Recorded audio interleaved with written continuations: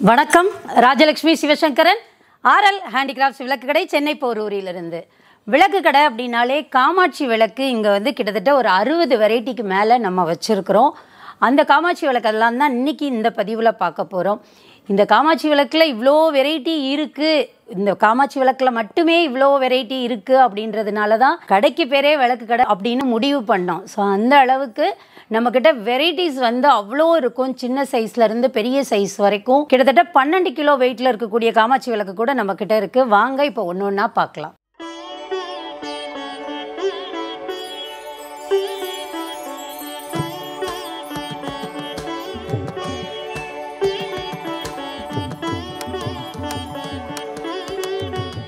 விளக்கு கடையில் கஜலட்சுமி விளக்குக்குன்னு தனி ரோ கொடுத்துருக்கோம். கஜலட்சுமி விளக்கில் ரொம்ப சின்ன சைஸ்லேருந்து பெரிய சைஸ் விளக்கு வரைக்கும் இருக்குது இது காமாட்சி விளக்குலேயே வந்து அகல் மாதிரி கொடுத்து செஞ்ச விளக்கு.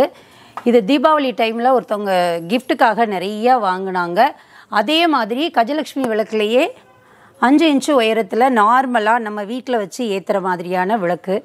இதுலேயுமே அத்தனை டிசைன்ஸ் இருக்குது இந்த அரும்போட அரும்பு இல்லாமல் அது மாதிரி இந்த டிசைன் கொஞ்சம் மாற்றி பெரிய விளக்கா இந்த மாதிரி நிறையவே கஜலட்சுமி விளக்கு இருக்குது கடைக்கு வந்து வாங்கணும் அப்படின்னு நினைக்கிறவங்க நிறைய பேர் இந்த விளக்கையும் ஆசையாக பார்த்து வாங்குவாங்க. ஏன்னா இந்த கஜலட்சுமியில் பார்த்தீங்கன்னா அந்த தாமரையிலேருந்து கஜலட்சுமி அப்படியே அழகாக வந்திருக்கிற மாதிரி எல்லாமே ரொம்ப தெளிவாகவும் இருக்கும். அந்த விளக்குமே நல்லா அகலமாக இருக்கும். நல்லா அகலமாக இருக்கும். கஜலட்சுமி விளக்கில் இது வந்து சூப்பர்னு போட்டிருப்போம். அந்த டிசைன் வந்து நம்பர் ஃபோர்னு போட்டிருப்போம். இதுவுமே நம்மளுடைய வெப்சைட்டில் நீங்கள் ஈஸியாக பார்த்து செலக்ட் பண்ணலாம். இந்த கஜலட்சுமி விளக்கு ரொம்ப பிளெயினாக இருக்கும். நம்ம ட்ரெடிஷ்னல் மாடல் மாதிரி பழைய விளக்கு மாதிரி. இந்த விளக்கு வரைக்கும் வார்ப்பில் எடுத்திருப்பாங்க. ரொம்ப அழகாக இருக்கும். ஸ்பெஷலாகவே டிசைன் பண்ணது இது. ரொம்ப கோடு கோடாக எந்த டிசைனும் இல்லாமல் பிளெயினாக இருக்கும். மேலே கஜலட்சுமி நல்லா அழுத்தம் திருத்தமாக இருக்கும். சின்ன விளக்கில் நல்லா அழுத்தம் திருத்தமாக இருக்கக்கூடிய விளக்கு அப்படின்னா இந்த விளக்கை சொல்லலாம். இதுலையே உங்களுக்கு ரொம்ப பெரிய சைஸ் வரைக்கும் இருக்குது இப்போ அதுக்கு அடுத்த சைஸ் அப்படின்னா இந்த விளக்க சொல்லலாம். இதை விட பெருசும் இருக்குது கஜலட்சுமியிலேயே வந்து அரை லிட்ரு ஒரு லிட்ரு பிடிக்கிற வரைக்கும் நம்மக்கிட்ட விளக்குகள் இருக்குது இப்போ நம்ம பார்த்துட்ருக்கிறது ஐஸ்வர்ய கஜலக்ஷ்மி விளக்கு. ரெண்டு பக்கம் யானை வச்சு நடுவில் லக்ஷ்மி அழகாக எம்போஸ்டாக பெருசாக இருப்பாங்க. கிட்டத்தட்ட ஒம்பது இன்ச்சு இந்த விளக்கோட உயரம். இதுதான் நம்மளோட விளக்கு கடையிலையும் ஏற்றுறோம் இதில் காமாட்சி வச்சு நம்ம விளக்கு கடையில் ஏற்றுறோம் அந்த விளக்குக்கு அழகாக வந்து விளக்குக்குன்னே நம்மக்கிட்ட ஸ்டாண்டுமே இருக்குது அழகாக கட்டமுக்காளின்னு அதுக்கு சொல்லுவோம் பேர். ரொம்ப அழகாக இருக்கும். விளக்கு அவ்வளோ அதில் மேலே வச்சா ரொம்ப ஆப்டாகவும் ரொம்ப பார்க்கவே ஒரு ஒரு ட்ரெடிஷ்னல் லுக்கோட ரொம்ப அழகாக இருக்கும். காமாட்சி விளக்குலேயே பெருமாள் வச்ச விளக்கு தான் இப்போ பார்த்துட்ருக்குறோம். பெருமாள் வச்ச சீனிவாச பெருமாள் இருக்கிற மாதிரி காமாட்சி விளக்கு பார்க்குறோம். இதில் ஒரு பக்கம் ஹனுமானும் ஒரு பக்கம் கருடாழ்வாரும் இருப்பார். நடுவில் பெருமாள் இருப்பார். இந்த விளக்கு வந்து இப்படியே பார்க்குறத விட நம்ம ரெகுலராக அது விளக்கை ஏற்றி அதை கழுவி நம்ம யூஸ் பண்ணும்போது அதோட லுக்கு இன்னுமே அழகாக இருக்குது அது மாதிரி சங்கு சக்கரம் நாமம் போட்டு பெருமாள் கும்பிடுறவங்களுக்காகவே நிறையா விளக்குகள் விளக்கு கடையில் இருக்குது அதுவுமே நிறையா சைஸஸ்லேயும் இருக்குது குபேர விளக்குலேயே சங்கு சக்கர நாமம் போட்ட விளக்கு ஸ்ரீனிவாச பெருமாள் விளக்குலேயே இன்னுமே பெரிய சைஸு இந்த விளக்கு. அஷ்டலக்ஷ்மியில் நடுவில் விநாயகர் வச்சு சுற்றி அஷ்டலக்ஷ்மி இருக்கிற மாதிரி நடுவில் கஜலக்ஷ்மி வச்சு சுற்றி அஷ்டலக்ஷ்மி இருக்கிற மாதிரி. அதுலேயே சின்ன சைஸ் விளக்கு எல்லாமே கூட நம்மளுடைய விளக்கடையில் இருக்கு. இப்போ நாம் பார்த்துட்ருக்கிறது லக்ஷ்மி குபேரர் விளக்கு. இந்த விளக்கு ரொம்பவே ஃபேமஸ் நம்ம விளக்கு கடையால் ரொம்ப ஃபேமஸான விளக்கு அப்படின்னே சொல்லலாம். இதில் லக்ஷ்மி குபேரர் சங்கநிதி பதுமநிதி பொற்குடம் காமதேனு கற்பக விருட்சம் எல்லாமே இருப்பாங்க. மேலே லக்ஷ்மி உட்காந்துருப்பாங்க குபேரரும் குபேரரோட மனைவியும் கீழே உட்காந்துருப்பாங்கல்ல குபேர சின்னம் அத்தனையுமே பொறிக்கப்பட்ட ஒரே விளக்கு. கொஞ்சம் பெரிய சைஸ் தான். ஆனாலும் நம்ம வீட்டில் ஏற்றக்கூடிய சைஸ் தான். ரொம்ப பெருசுன்னு சொல்ல முடியாது. நம்ம ஏற்றுறத நார்மலாக ஏற்றுறத விட இது கொஞ்சம் பெரிய சைஸு ஏன்னா இவ்வளோ டிசைன்ஸும் அதில் கொடுத்து நம்ம கொண்டு வரணுங்கும்போது அட்லீஸ்ட் ஒரு ஏழு எட்டு இன்ச்சு உயரத்தில் இருக்கக்கூடிய விளக்கில் தான் நம்ம இவ்வளோ டிசைன்ஸும் கொண்டு வர முடியுது. காமாட்சி விளக்குலேயே நம்ம ஆறுபடை வீட்டு முருகனையுமே பார்க்கலாம்.